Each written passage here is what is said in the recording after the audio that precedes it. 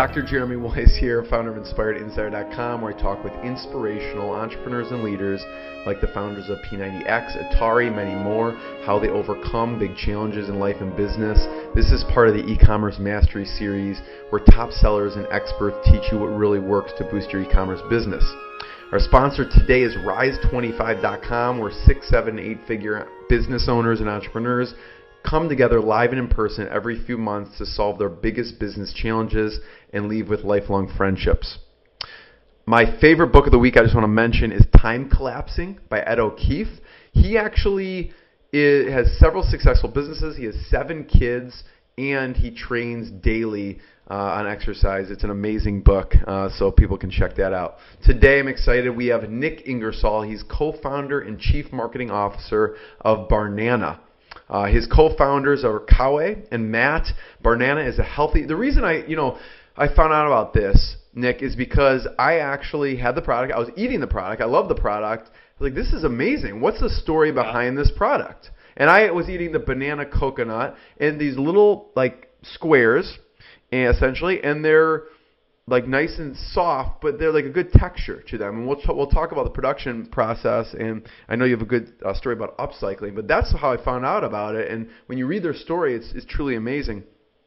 But Barnana is a healthy organic banana snack with flavors like coconut banana, which I've eaten, banana chocolate, many more. They're in over 5,000 stores, including Safeway and Whole Foods. They're in US, Japan, Canada, and Australia. And their company is not just a company, but they do have a mission. Their company is on a mission to end food waste at banana farms. Nik, thanks for joining me. Thanks, man. Happy to be here. So I always ask this, Nik. Um, what's been the lowest moment and how you push through the hard time, um, and then the highest or proudest moment so far. What's been the lowest for you?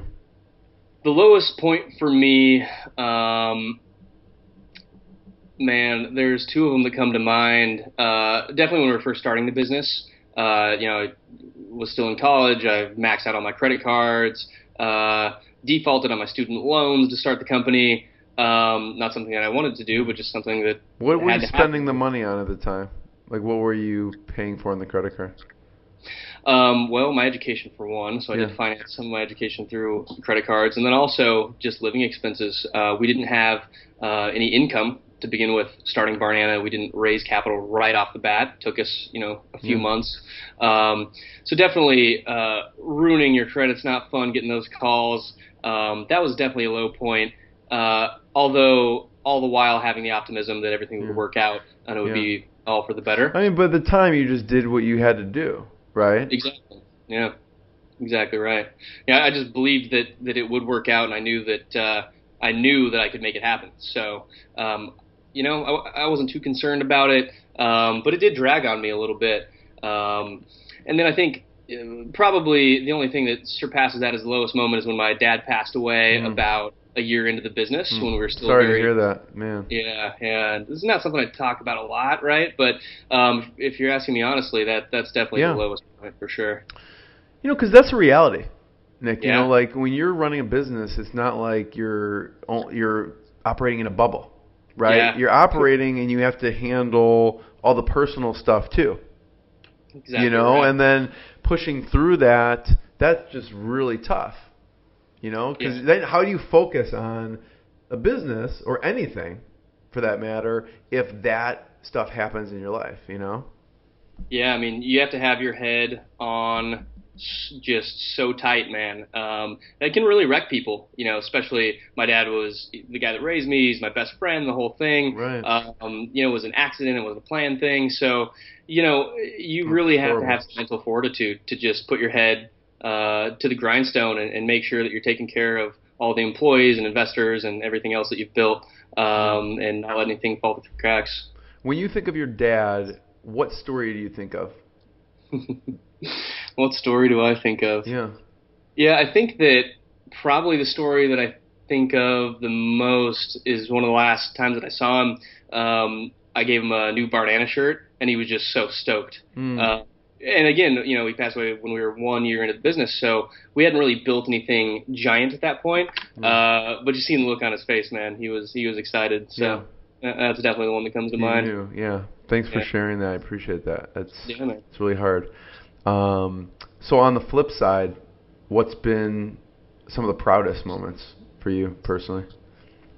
I think probably one of the proudest moments. Um, it was actually sort of a succession of, of proud moments. Um, a few of our employees have had kids now, and I think that you know when you're running a business and you have employees and you know you need to take care of them and their families and everything else, um, being able to provide them with um, the income and the benefits and everything necessary to, to raise yeah. a newborn baby. That's amazing. Uh, something pretty special. So yeah. you know, I've experienced that a couple times now. Um, I think that's probably one of the high points. Barnana babies. Yeah. There you go. yeah. What about from the business standpoint? Um, What's been the most? I mean, you've gotten to have a lot of success with different distribution channels. What's been personally for you been a huge win? I think the biggest win for us is that we've grown with velocity instead of sort of the shotgun blast, low velocity, high footprint strategy. Mm-hmm. A lot of times in the food industry, you can grow one of two ways. So you can either grow through velocity, um, or you can grow through just having a ton of retailers that you sell in.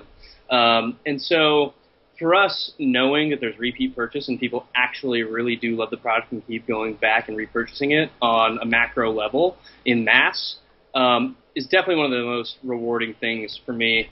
Um, I think that seeing that velocity means that the business is growing in the right way, in a sustainable way, in a way that brands grow that last, um, that aren't just kind of a flash in the pan. Yeah. That's something I'm really proud of. Yeah. Nik, this has been amazing. How can people best support you? Is it better for them if they're interested to get it on your site? Is it better to get it in retail? What What's best? Yeah, I think um, the best way is is whatever's most convenient for you. You know, uh, yeah. obviously at Barnana.com, uh, we control all the experience. Um, you know, any issues that anybody ever has, you can always reach out to us in customer service. Um, you know, going in supporting the retailers is great too, Whole Foods, etc uh, really, really any support is, is welcome support, and um, we just hope that we're doing something that uh, everybody else can love. So yeah. Thank you. Everyone check out barnana.com. Nik, it's been amazing. I appreciate it. Likewise, man. Thanks. I appreciate it. Thank you.